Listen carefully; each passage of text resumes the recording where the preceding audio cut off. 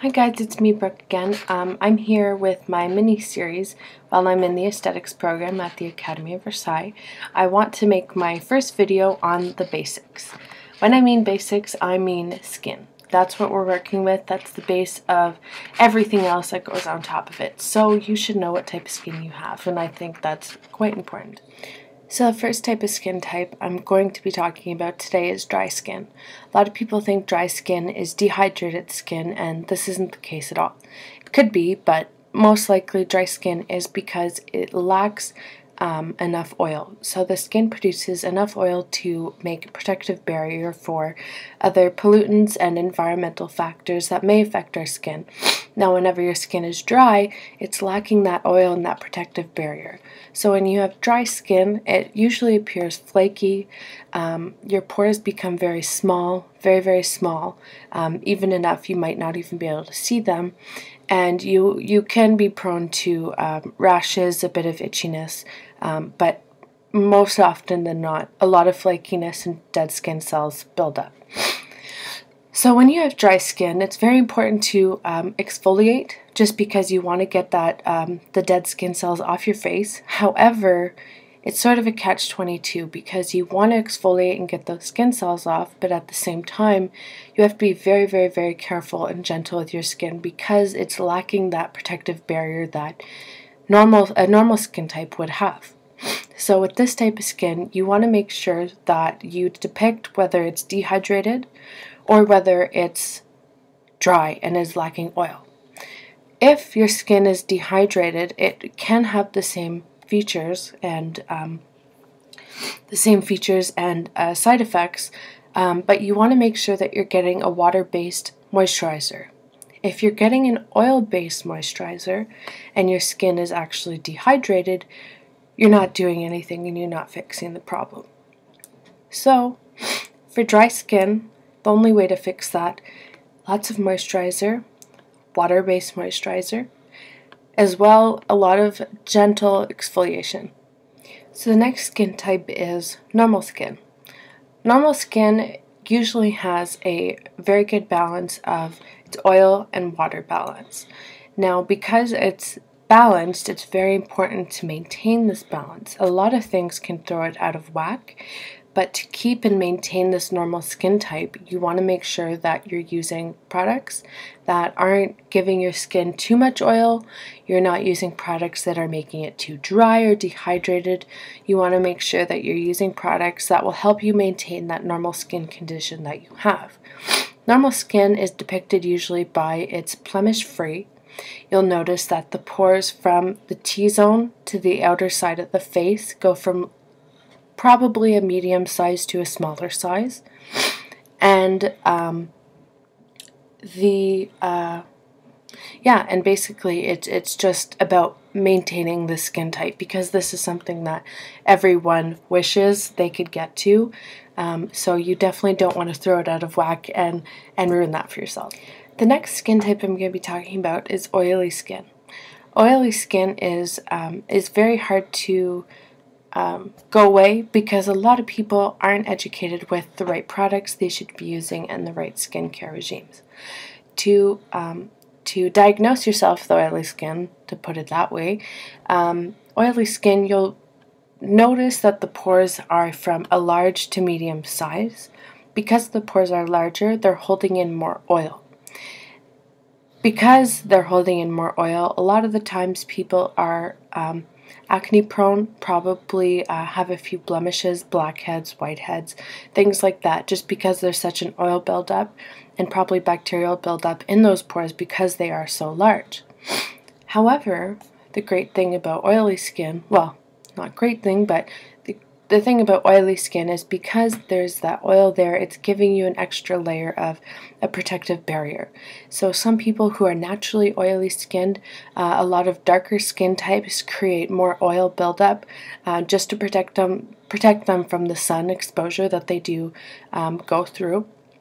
They age slower, which is sort of funny because a lot of people think oily skin is such a bad thing. Um, but for some people, and that's just how their skin is, it's something that they benefit from. If it's something that isn't your natural skin type and it's something that comes and goes and it's a concern of yours, um, what you should be doing is, of course, exfoliating. Exfoliating is important for all skin types, but especially for oily skin. What you're doing when you're exfoliating is you're taking that dead skin, the layer of dead skin, off of your face so that those pores are able to be exposed and you're either able to extract or clean out those pores with a, a deep cleansing milk or um, um, you know those products that help you uh, take all the bacteria and dirt out of those out of your pores. So you want to make sure that you're not using products that are oil based preferably water based because you don't want to be putting more oil on the oil you're trying to get rid of. It's contradictory. Um, and you just want to make sure that again all your products they don't have a lot of concentration of oil and you're using um, and you're exfoliating a lot. So the next skin type i'm going to be talking about is combination skin Combination skin is obviously a combination of um, oily and dry skin. A lot of people say that they have uh, certain areas on their face that are more oily than normal, and that they have certain areas on the face that are drier than they normally should be. Um, a lot of the times, people with combination skin have more oil build up around their T zone here, so going from their forehead down to their chin and across from cheek to cheek. A lot of the dryness happens to be in the cheek area, around the eyes, and a little bit on the forehead. Now, if you notice that you've got some oily parts on your face and some dry parts on your face, this means you're combination skin. To deal with combination skin, you want to make sure that you maintain a regular routine of exfoliating. This is very, very, very important for this type of skin only because you're getting rid of those dead skin cells and you're letting whatever products or serums or moisturizers or whatever, you're letting it seep into the pores and actually get through to the skin and do what its job that it's supposed to do. So, um, the only thing I could say and recommend for this type of skin type is to make sure that you're exfoliating a lot. Um, not a lot, as in, you know, twice a day, but at least, I'm going to say three times a week maybe even a soft, gentle scrub um, every evening as a cleanser. Um, but also make sure that you're using water based products because you do have that dryness in your skin and you want to hydrate that part, but you don't also want to add more excessive oil into the parts that are already oily. So, last skin type I'm going to be talking about is sensitive skin. Now, it's very um, fought over that sensitive skin isn't actually a skin type, however, it's a skin condition. Sensitive skin is something that is not permanent. Sometimes it is, depending on the skin type. Um, if you're an albino skin, then yes, you will be naturally very, very sensitive, and that probably will never leave you. However, if you, um, for me personally, I always thought I was sensitive skinned as well, just because I reacted to uh, a lot of different products, and it didn't take much for my skin to be irritated by stuff. Um, however, I have learned that it's more of a condition than a skin type. It's something that's not permanent, however, it's reversible. Um, for sensitive skin, to, to diagnose a sensitive skin, it's usually very irritated and red um, by, uh, by certain products, maybe even every product that goes onto your face. Um, it also is, um, is um, provoked by a lot of um, environmental factors as well. stress, caffeine, sun exposure, too much sun exposure, um, unhealthy elements uh, such as, you know, very, very cold weather, extremely hot, cold weather, um, the climate changes and all that really, really, really get to our skin. Um, a lot of people who do have sensitive skin will notice in the winter they get extremely dry skin, even cracks, all that. In the summer, they've got the most oily skin ever, um, and that's just its reaction to the climate change. Um, also, for sensitive skin to deal with this, you need to realize that it's not a life sentence. It is something that can change and that is reversible. It takes a lot of home care as well.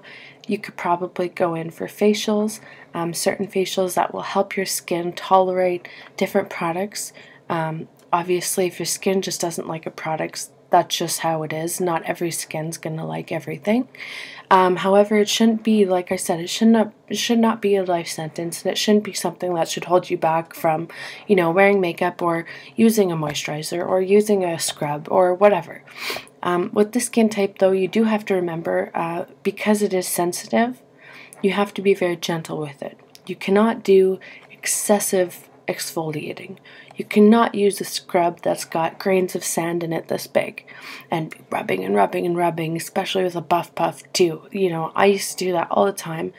Um, but if anything, it'll cause more problems than it is it is fixing problems. Um, so in that case, you want to use um, products that are gentle. You want to be very gentle in your exfoliating. And probably once a week you should be exfoliating because sensitive skin, it's it's it's skin. You need to get those dead skin cells off either way. Um, you just need to be very gentle about how you go about doing it. Um, as well, you want to use products that aren't very high concentrated in fragrance because that does provoke a lot of irritation for sensitive skin. However, like I said, sensitive skin is not a life sentence and is something that can be reversed. You just need to get the right skincare regime, find products that suit you, that don't make your skin irritated, and really stick with that.